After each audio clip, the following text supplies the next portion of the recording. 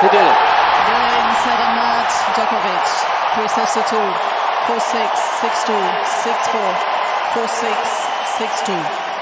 Three sets away from doing something that Rod Laver did back in 69. One match away. A terrific fight here.